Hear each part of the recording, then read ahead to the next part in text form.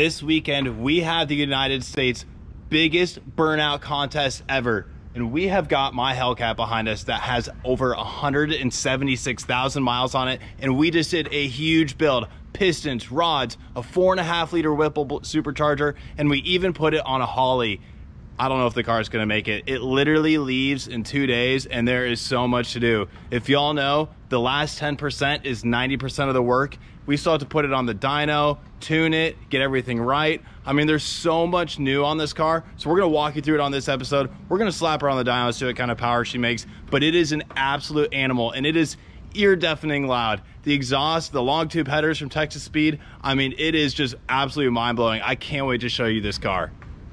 Probably the biggest upgrade we have done on the car is a freaking Holley Dominator. Check this out. It works with the stock ignition.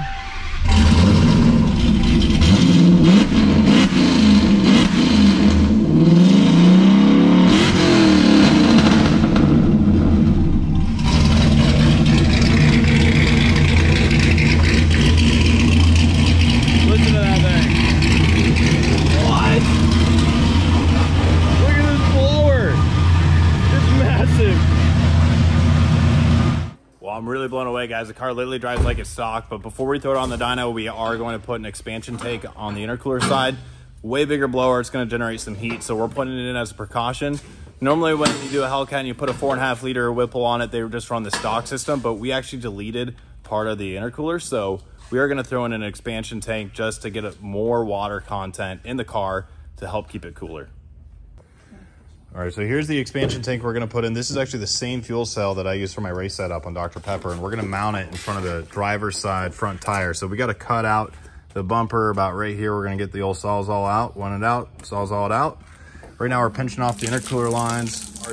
Like I told you before, the car's supposed to leave really soon on the transporter with all the other burnout cars going to Bristol. And as you can see, we've got it up on the lift. So we took it out for a drive. We couldn't get into any boost.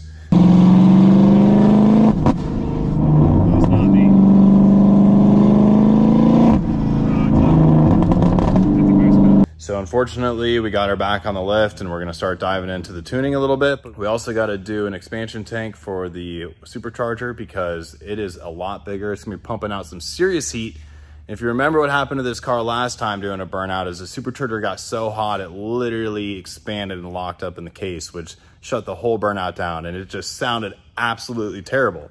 So we're thinking if we add a lot more water to the system, it can keep it cooler, especially with the bigger blower.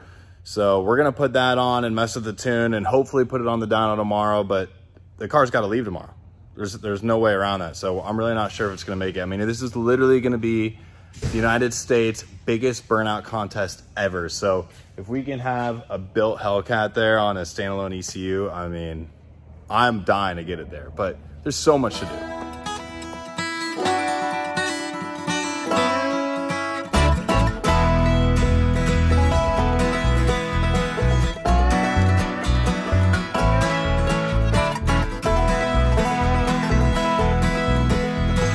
I'm touching up some wiring for the radiator fans and intercooler pump while Drew's getting that expansion tank welded in. We got some storms rolling in.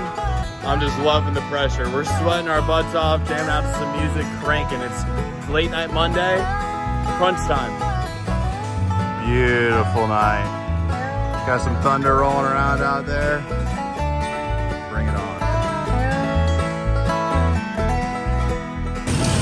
Got the car on the dyno, let's do some rips. I literally have the trailer here, I'm taking it with me tonight, so fingers crossed we get this thing dialed because it's supposed to leave on the transporter as soon as possible.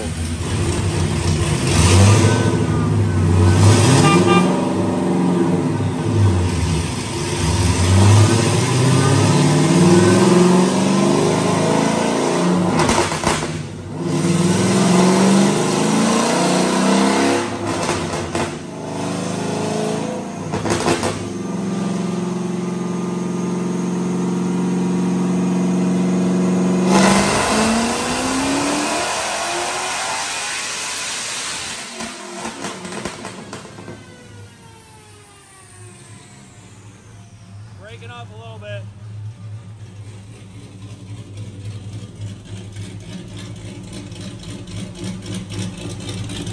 Eight fifty five, seven forty four, but she's breaking up at about sixty five hundred RPM.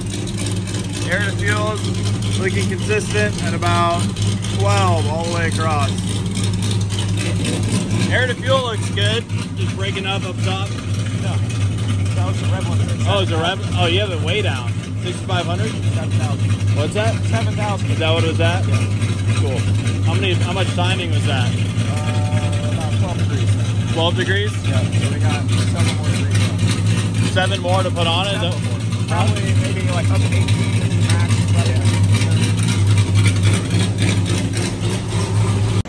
What are you doing this time? Sprinkle a little timing in there. Do a little magic dust.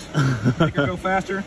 Well, you said that was that was how much? It was 12 degrees last time. Uh, yeah, that was 12 degrees peak. Um, you know, we're looking probably maybe up to 18 degrees if the car is happy. You know, that so, was uh, how much? How much boost was that? Uh, it's making about 17 pounds right now. So 17? Pretty conservative. Do you have the smooth boost turned down? No, that's, that's all it's It's got. all. It's all it's got. Yeah. Noise. Noise. maybe making 17 pounds of boost, but it's pushing a lot of air through that bigger blower. He said he only had to touch this thing up three times so it wouldn't leak. That's number two. Thank you.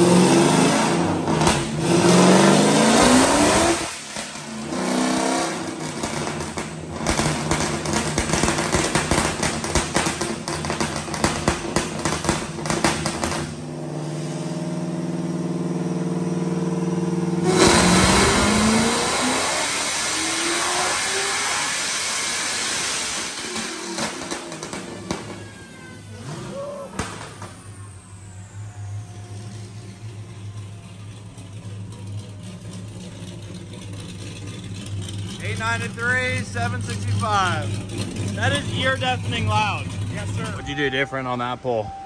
I just added a little bit of timings, moved the air fuel out a little bit more. You know, just yeah. That air fuel's bit. looking dialed. So then around what around 12? Is that what you're targeting? Yeah. Okay.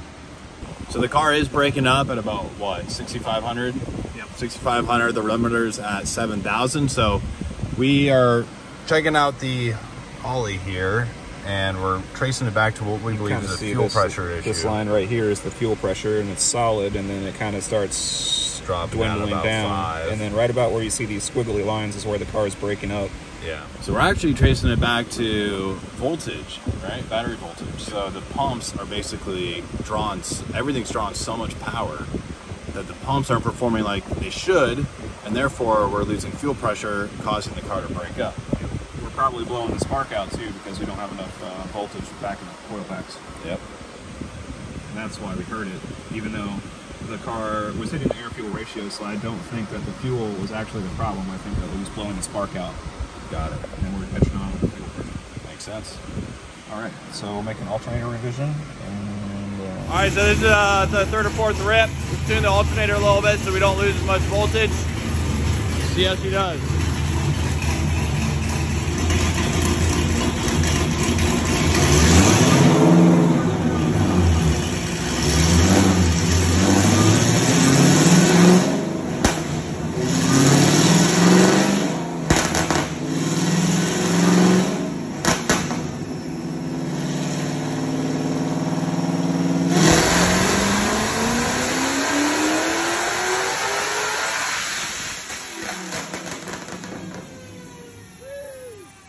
Dude, did you hear that thing wind up? Oh my god. 907, 771. Looks a little better here. Uh, still breaking up.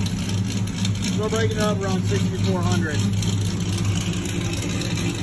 So we fixed the voltage issue and we're sitting pretty healthy at about 900 real horsepower, which is pretty dang good for a burnout car.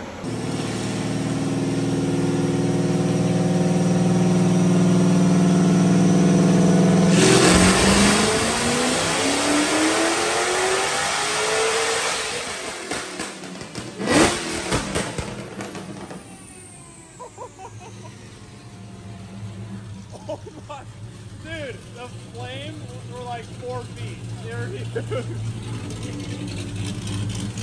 898, 767. But, hey, it's just looking a lot better. Okay, so this car is conservatively making about 900 wheel horsepower. Now, is it capable of more? Absolutely, but it has the biggest pulley you can put on the supercharger, and with the pistons and rods, it's definitely capable of more. But we're gonna play the safe route, get her home, get her on the transporter to go to Bristol because it is so loud and I cannot wait to hear this thing rip in the stadium. Okay, so we're trying something a little different for this pull. We're moving the rev limiter around so that we can get a little popping and banging, and skeeting and yeeting when we're out on the pad.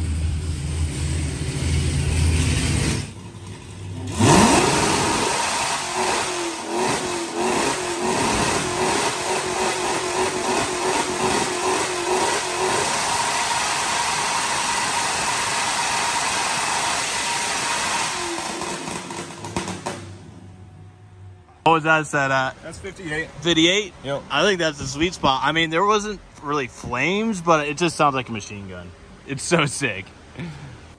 Hey guys, if you want to see a sick burnout, make sure you subscribe because we're heading to Bristol, baby. Woo!